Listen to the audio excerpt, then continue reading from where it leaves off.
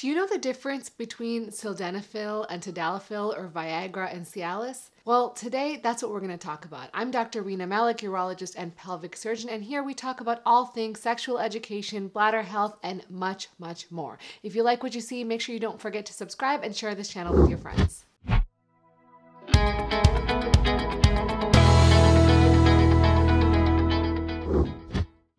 Before we get into the actual treatment with these medications for erectile dysfunction, it's important for you to understand how an erection happens. So, the first component of an erection is arousal. You see something, you smell something, you hear something, or you feel something that gets you aroused. That causes your body to release something called nitric oxide. And nitric oxide is like the ignition for erections. So, in order to get an erection, you need arousal and you need nitric oxide. So, once you get that nitric oxide and that arousal, what happens is your body starts releasing a number of chemical messengers. And one of these is called CGMP or cyclic guanosine monophosphate. And as these messengers are released, the muscles or the smooth muscles in the penis relax. This allows blood to flow in, and at the same time, the veins of the penis get blocked off so that blood flow stays in the penis causing a firm erection. And then what stops the erection? Well, there's three major things. First is that nitric oxide or the stimulus for arousal goes away. Second is that chemical messenger CGMP starts to degrade or break down.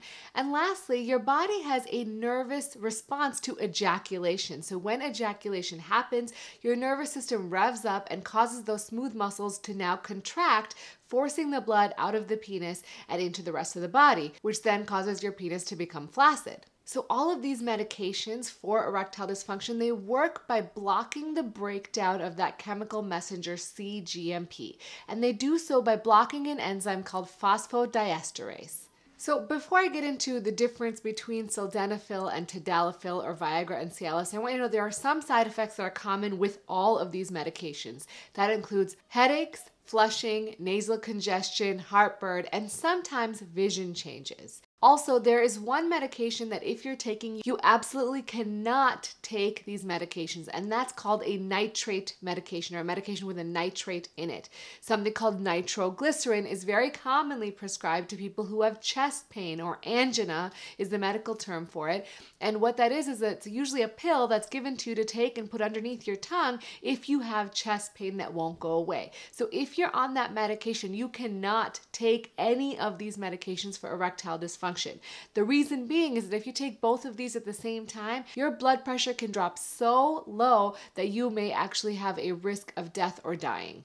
Also, there are certain medications that can cause drug to drug interactions, and if you have kidney or liver problems, you might have to change the dosing of the medication that you're receiving. So, you definitely want to get these under the care of a physician. You may find some over the counter supplements, even though they're not supposed to have these medications in them, that do have them, and those are dangerous because you need to make sure that you're not getting too much or too little of the medication. There's also a couple of very rare but very serious side effects with these medications. One of these is called priapism, and priapism is an erection that lasts longer than four hours.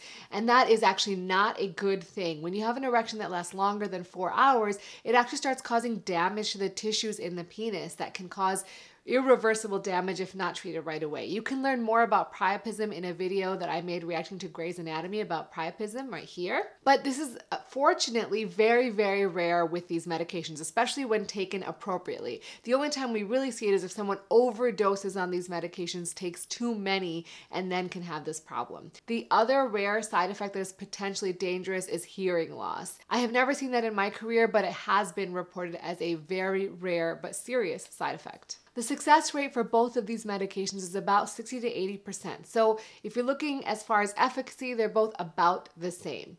And why am I talking specifically about Viagra and Cialis or sildenafil and tadalafil? Well, because at least in the United States, they are the cheapest options for erectile dysfunction. And because they are equally effective, I tend to prescribe these both most often. As far as sildenafil is concerned, the origin story of how they came up with sildenafil is actually really interesting. So it was originally made as a treatment for high blood pressure. So they did these clinical trials on patients to see if it would improve their blood pressure.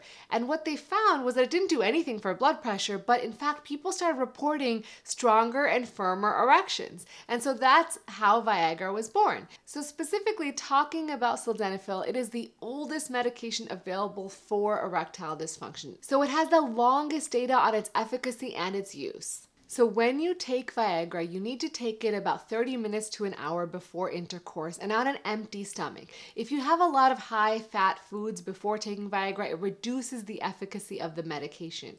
So ideally you want to take it on an empty stomach or if you had a very light meal. It lasts in the bloodstream for about 4 hours.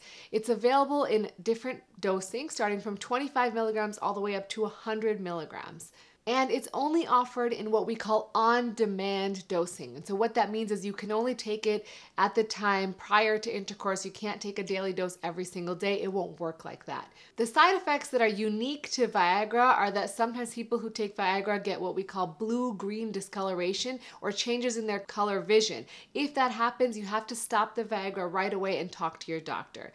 The other side effect that we sometimes see in Viagra and not in Tadalafil is nosebleeds, although it is in a small percentage of people. Tadalafil is a more selective phosphodiesterase inhibitor, meaning it more selectively inhibits the enzymes that are responsible for erections. And it was released in 2003, so we don't have as much data on tadalafil as we do on sildenafil. Similar to sildenafil, it needs to be taken about 30 minutes to an hour before intercourse, but you can take it on an empty stomach.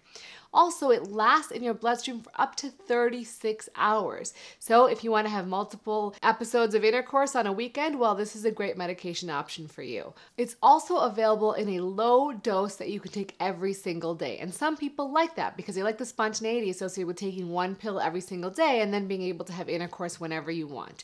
The on demand dosing is available from 5 milligrams to 20 milligrams. And you might notice that that's less than the sildenafil dosing. It doesn't mean that it's less effective, it's just different different. Also, the other interesting thing about the low dose daily tadalafil is that it also is useful for men with benign prostatic hyperplasia or BPH. You can check out my video about BPH that I made before to learn more about that. But what it does is it helps men who have symptoms urinary symptoms associated with BPH, specifically having difficulty emptying your bladder, straining, waking up at night to urinate, maybe having some urgency, gotta go, gotta go, or urinary frequency. So, if you find yourself having urinary symptoms that are related to BPH and erectile dysfunction, well, you might be able to get away with just taking one medication that can help both problems. And lastly, there's some data to suggest that men who have complete erectile dysfunction, meaning they have no erections at all, may benefit better from tadalafil than other medications.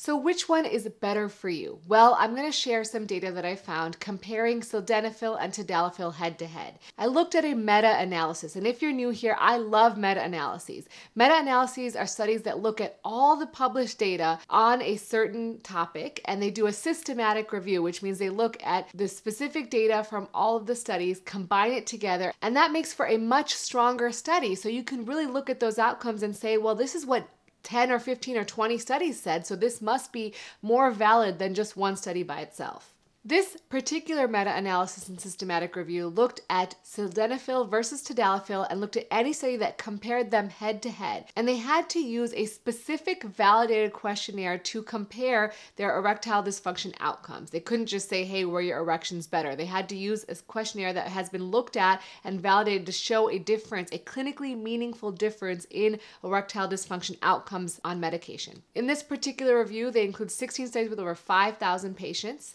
So what they found was that efficacy, as I mentioned earlier, was about the same in both groups. But in this, they also looked at how the partner felt their erections were, as well as the patient's treatment satisfaction and adherence or sticking to the medication or using it regularly with either sildenafil or tadalafil. People in these studies who took tadalafil tended to have better self-esteem in their relationships and were more satisfied with their treatments. And in nine studies, they looked at preference. They asked them, What do you prefer? In nine of these studies, they found that the men and their partners both preferred tadalafil over sildenafil. So, what they found was that persistence and side effects were similar in both groups. The only difference in side effects were that sildenafil patients were more likely to have vision changes, whereas tadalafil patients were more likely to have muscle aches. So, what do I recommend? Well, if you have urinary symptoms with BPH, well, then I recommend taking one daily dose of tadalafil every single day.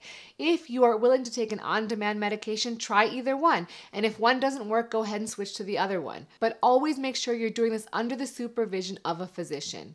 There are a number of other treatment options for erectile dysfunction besides medications, including a suppository that goes inside the urethra, intracavernosal injections, vacuum erection devices, and penile implants. So if you're interested in learning more about those, comment below and I'll make videos about them as well. I've made a couple videos about penile implants. You can check those out as well. And as always, remember to take care of yourself because you're worth it.